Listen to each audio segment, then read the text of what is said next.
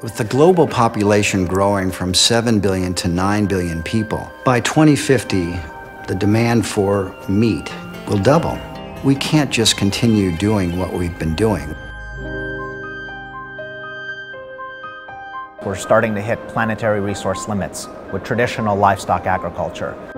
We know that by the year 2050 there will be 9 billion mouths to feed. To see, of course, the population is going to double in, in, in a few decades. I am convinced that in 20 years' time, when we look back on today and we look at how we raise and slaughter billions of animals to make our food and our footwear, we'll see it as being highly unsustainable.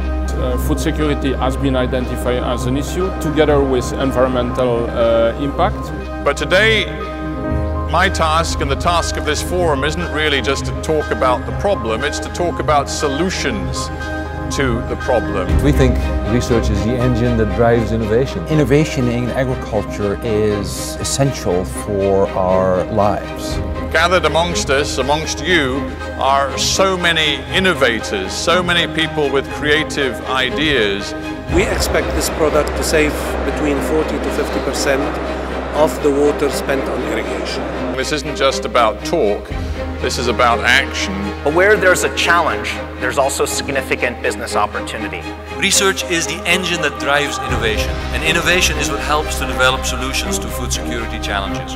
This is certainly an exciting time to be an agricultural scientist. We've brought our urban farming system over to the show from Australia. Uh, this audience is looking at uh, innovation, is looking at uh, sustainable investments, and that is what we are here for. The product's aimed at urban farming, so it's ideal for people who want to grow their own vegetables on rooftops, balconies, um, even in their backyard. We're a brand new NGO that's been going for just one year. There's no one silver bullet, there's no one magic solution here.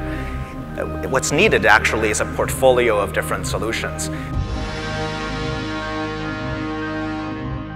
The way this worked was wonderful. We heard the presentation at the beginning, at the opening by Bill Gates saying that innovation should be funded. To help the poorest seize agriculture's potential, we need to unleash as much innovation as possible. Hydrophobic sand is water-fearing in the Greek terminology. It's water-fearing sand, so it, it, repels water. Water is almost the, the, the, gold of the future. This is the tar sheet product, tar foam.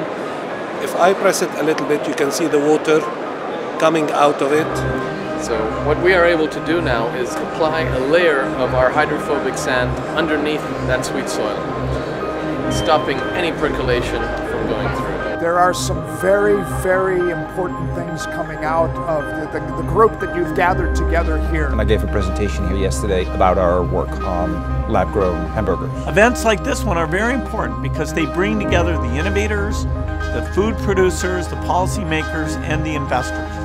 What is interesting here is to connect the dots. We are totally dedicated to working in Africa. We're based in Nairobi. It's, it's been phenomenal. I sat at lunch today and I was with a guy who has invented a, an amazing and extremely um, efficient and cheap system to provide the world with energy.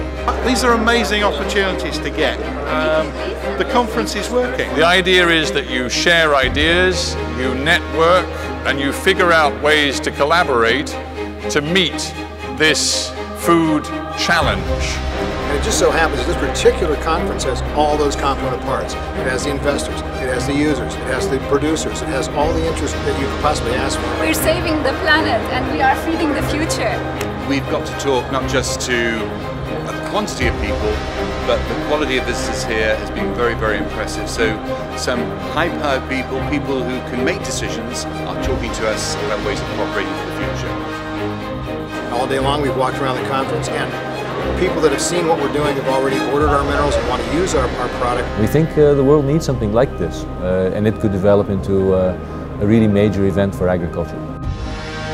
And I think the success of it will lie in what happens after these two days are over. These type of events, um, and maybe even in particular this one, is, is important for everybody, not just the people working in this field, but basically for the entire world.